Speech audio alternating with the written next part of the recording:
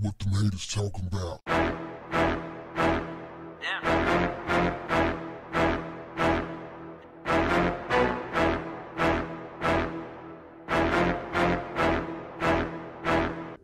What's up, family? The last week has produced a couple of major videos that have come out of the Atlanta area. The first video to go viral this week was that of Rayshard Brooks, who was murdered at a Wendy's after someone called 911 to report a man sleep in the drive-thru. Apparently, the unrest that has ensued since has been a bit too much for Officer Karen, who had a mental breakdown at a McDonald's because she was inconvenienced. Yeah, she said they were taking too long to bring her her English muffin dinner.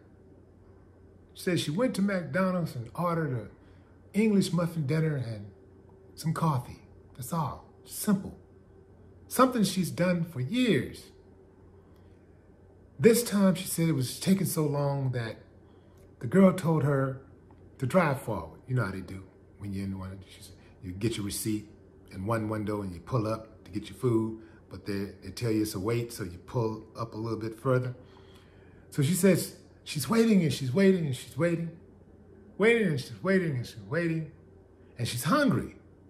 And so finally, the girl comes out with her coffee, but she doesn't have the food.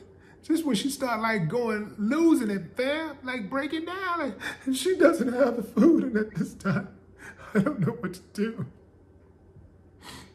Because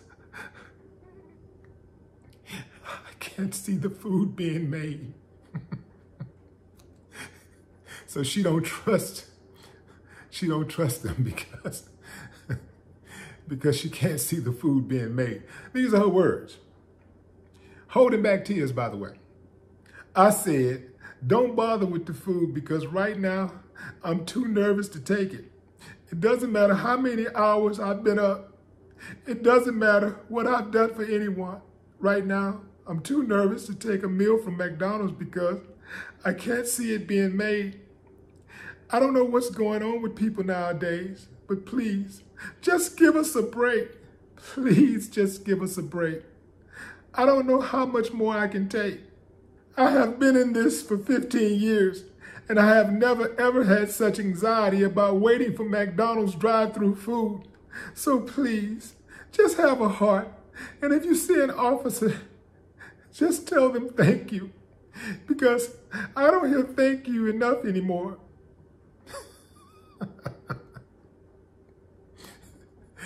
thank you for finally shutting the hell up. this woman went on a dash cam diatribe. Isn't that at taxpayers' expense? This woman has no business roaming the streets with a gun and the authority to take life the authority to pull somebody else over and charge them up, ask them questions, and maintain her sense of awareness and sense of just just to maintain sensibility. She has she has no business being a police officer. This woman belongs in a psych ward. She needs medication and a therapist. She has horrible communication skills and she is irony challenged. What is wrong with her? I don't trust her. Now, she admitted that people buy her food and they thank her all the time. But why does she want to be thanked so much for a job that she's paid to do. She acts like she's volunteering her services. She is paid to do the work. Okay, I get it from time to time. People people don't mind being, you know, thanked or whatever. They don't, they don't mind hearing a thank you. I get it. But expecting a thank you? Nah. For doing your job? Nah. You're not doing us any favors. If you were doing the public a favor, perhaps I can see a thank you. Somebody, you know, do a favor for you, you know, it's courtesy thing to say. It's the courteous thing to say, you know, thank you, thank you. But you're not doing anybody any favors. She's probably killed somebody. And if she hasn't, she is going to kill somebody because she ain't built for this like 95, 99% of them. They are not built for this profession. Why do they want to be thanked so much? And why can't they, they maintain control during communications? Somebody say one thing and they lose it. They come out with the authority thing, and if it don't go as planned, they just snap. I mean, like, like that, they snap. And lo just lose it. This woman is amazingly dense. She is crying about being inconvenienced and saying she don't trust the McDonald's worker because she can't see her food. And this is enough for her to have a nervous breakdown. Good thing she was not in that drive through sleep. Because if she was, then she probably would have ended up like Rayshard Brooks. Nah, no, she wouldn't. She's a cop and she's white. Wouldn't have happened to her. They only shoot black people in those type of situations. I feel nothing for her.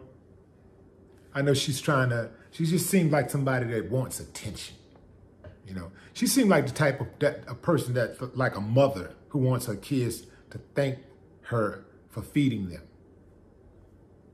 Like, you know, she cooked, put the food on the table, kids eat everything, and then they go about their business, and she just gets mad. She just you know, she don't say anything right there on the spot, but she just going about her business for days and just and it's and it's killing her. And she just go and, and wash wash the dishes, dry them all by herself, put them up and everything.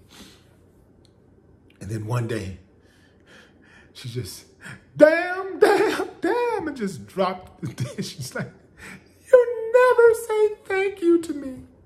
You're so ungrateful. Just please have a heart. Just, And if you see a mother out there, just, just tell her thank you. Just say thank you. hey, man, say, uh, Officer Carey, look, listen, we all have days where we're not at our best, but most of us are not empowered with pistols and I said pistols with pistols and badges with the authority to control people to some extent, to control people's movement and even their freedom, life. You have that power and you're totally unfit Totally. If you think what you went through by being inconvenienced because your little funky English muffin didn't come out on time, I would gladly trade places with you.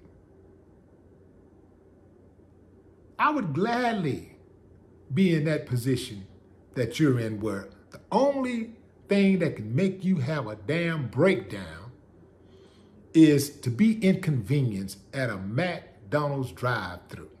You ain't got to worry about losing your kid to some old racist cop that's profiling them.